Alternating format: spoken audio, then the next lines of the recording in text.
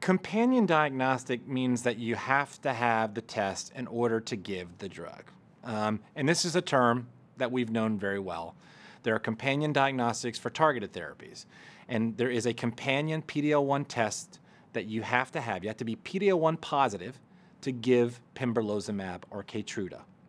So that's that's a companion diagnostic. We've been very familiar. That term has been in our lexicon for quite some time. Complementary is very new, and many of us as trying to understand what this means. Nivolumab does not need a PD-L1 test based on the data that showed a survival advantage in all patient populations in squamous and in adeno.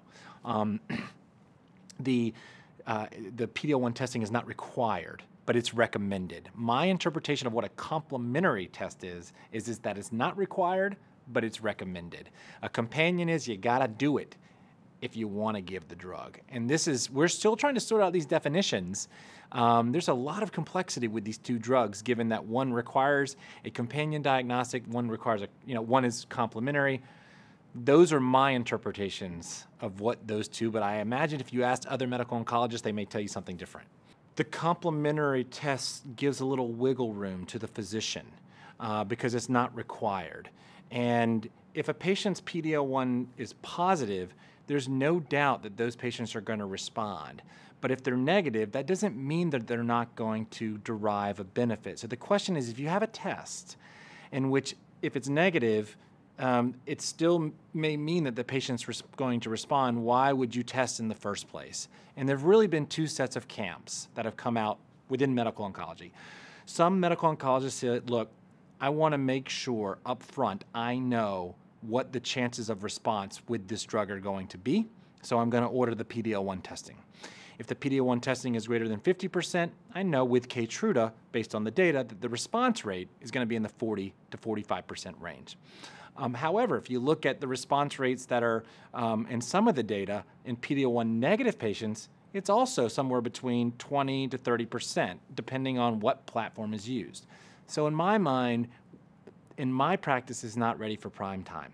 I do not routinely test for PD-L1 for my patients, given the fact that even if they're negative, there's a chance that they will derive a benefit. If they're positive, yes, that will define for me patients more likely to respond.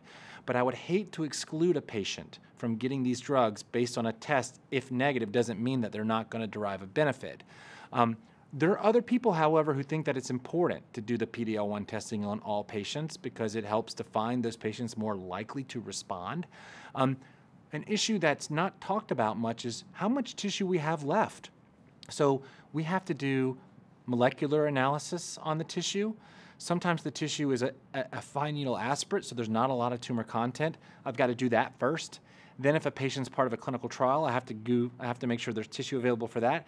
And then I have to make sure that there's tissue available for PD-L1 testing, which generally is only one or two slides, but sometimes our tissue procurement yields very low tumor content.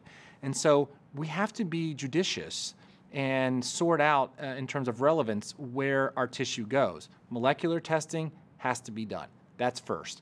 If they're going on a clinical trial, at least in my center, that's next. If there's room or there's tissue left over, yes, maybe to consider PD-L1 testing. And I think that's a lot of what people are thinking about is, you know, how um, how we have to be careful with tissue allotment based on the competitive needs from different diagnostic platforms.